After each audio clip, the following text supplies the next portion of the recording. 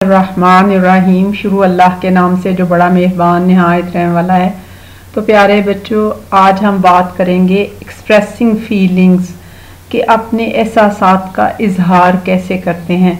हमारे जज्बात, हमारे दिली एहसास के इजहार का ज़रिया हैं। जो हमारा, हमारे दिल में एहसास होता है, वो हमारे चेहरे पे जज्बात की शक्ल में ज़ाहिर हो जाता है। तो जो हमारे जज्बात हैं, वो हमारे इंटेग्रल पार्ट ऑफ़ लाइफ हमारी ज़िंदगी का हिस्सा हैं। और ये इमोशंस इनको इमोशंस कहते हैं। ये नेगेटिव भी हो सकते हैं पॉजिटिव भी हो सकते हैं। अल्लाह ताला ने कोई चीज़ बादल नहीं बनाई। ये दोनों तरह के नेगेटिव और पॉजिटिव इमोशंस हमारी ज़िंदगी के लिए बहुत ज़रूरी हैं।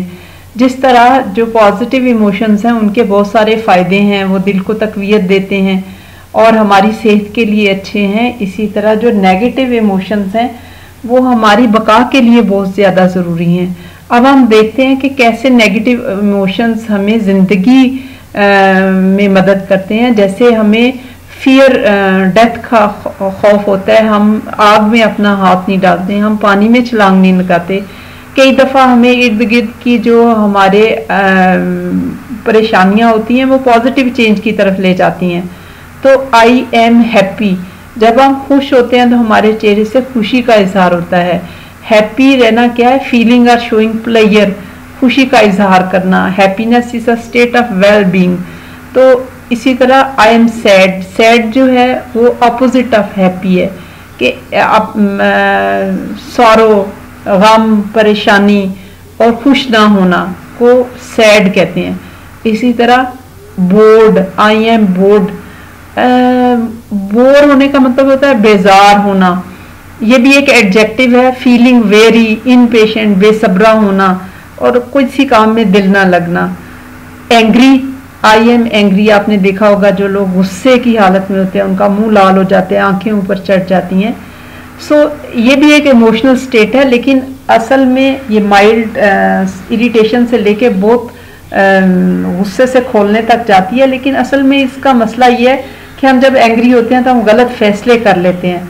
तो हमें अपने इमोशंस को मैनेज करना चाहिए।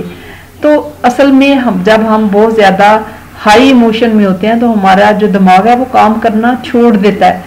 और हम गलत फैसले कर देते हैं तो ये सारा काम जो है, हमारे दिमाग में कुछ कीमियाई मादे खारिज होते हैं, जिसकी वजह से हम खुशी महसूस करते हैं या इमोशनल हो जाते हैं। और जब हम नॉर्मल लेवल पे वो आ जाते हैं तो हम रिलैक्स्ड होते हैं और हमारा दिमाग फैसले करने के काबिल होता है। ये तकरीबन 20 मिनट का एक वक्फा होता है। इसीलिए नबी करीम वसल्लम ने हमें फरमाया कि जब तुम्हें गुस्सा आए तो अउज़बिल्ला मिन शैतवानराजीम पढ़ा करो। और जब तुम्हें गुस्सा हो तो खामोश हो जाया करो। ये सुन्नत है। और फिर ये है कि अगर तुम्हें खड़े हो तो बैठ जाओ, बैठे हुए हो तो लेट जाओ। तो आ, आ, कोई भी गुस्सा या कोई भी इमोशनल स्टेट है क्योंकि गुस्सा आमतौर पे जल्दी आ जाता है तो इसमें ये पाँच इसकी तदबीर है कि आउज़बिल्ला पढ़ी जाए खड़े हो तो बैठा जाए बैठे हो तो लेट जाया जाए खामोशी इख्तियार की जाए वज़ू इख्तियार किया जाए या गसल किया जाए। तो अगर आप अपने गुस्से को चैनलाइज करें तो आप इससे बहुत ज़्यादा फ़ायदा उठा सकते हैं। तो इमोशन जो है वो ज़िंदगी का ईंधन है। इनका सही इस्तेमाल करना चाहिए। कैसे अपनी ज़िंदगी में ऐसा काम ढूंढो जिसपे गुस्सा लगा दो, अपनी तवानाई का रुख मोड़ दो। अपने वक्त को वैल्यू करो, क्योंकि वक्त जो है वो गया, एक दफ़ा ही मिलता है, दोबारा वापस नहीं आता। वक्त जो है वो फ्री है, लेकिन अनमोल है। ये ज़ाती मलकियत नहीं है, लेकिन आप इसको इस्तेमाल कर सकते हैं। आप इसको महफूज नहीं कर सकते। और एक दफ़ा ये चला जाए तो वापस नहीं ला सकते। तो प्यारे बच्चों, आपको तक पता है कि हम थोड़ी ही देर के लिए दुनिया में आए हैं। इन्ना व इन्ना राजीउन हम अल्लाह ही के हैं और उसी की तरफ़ लौट कर हमें जाना है, ये उस कुरान की आयत है। तो अपनी ज़िंदगी का मकसद ढूंढो। इस्लाम जो है वो एक लफ्ज़ नहीं है वे ऑफ़ लाइफ है। ये जानो कि अल्लाह ने हमें किस लिए दुनिया में भेजा है। अपने मकसद को पाने के लिए आपने सारे इमोशन लगा दो। मोहब्बत भी, नफरत भी, गुस्सा भी। बा मकसद ज़िंदगी गुजारो तो इमोशन मैनेज करना आसान हो जाएगा।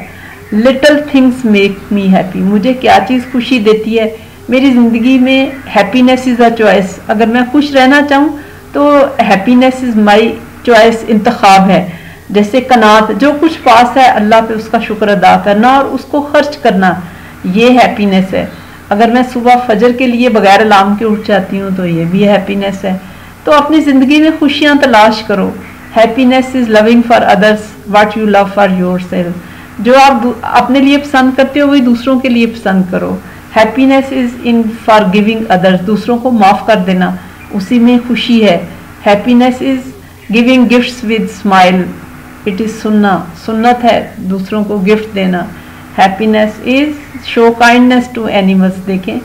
अल्लाह ताला के नबी ने हमें कितनी छोटी छोटी बातों से कितना ज़्यादा खुशियाँ लेना सिखाया और फिर गम और खौफ तो है ही नहीं है। अल्लाह ताला की जो हदायत की पैरवी करता है, उसके लिए कोई खौफ नहीं है। तो अगर खौफ तो इससे है कि खलूस ना होना, इलम हासिल करना और अमल ना करना, इस उम्मीद पे गुनाह करना कि अल्लाह माफ़ करने वाला है शुक्रदार ना करना, तकदीर पर राज़ी ना होता और मौत से सबक ना सीखना। तो प्यारे बच्चों, उम्मीद है आपको खुश रहने के तरीके सीखें और उदासी से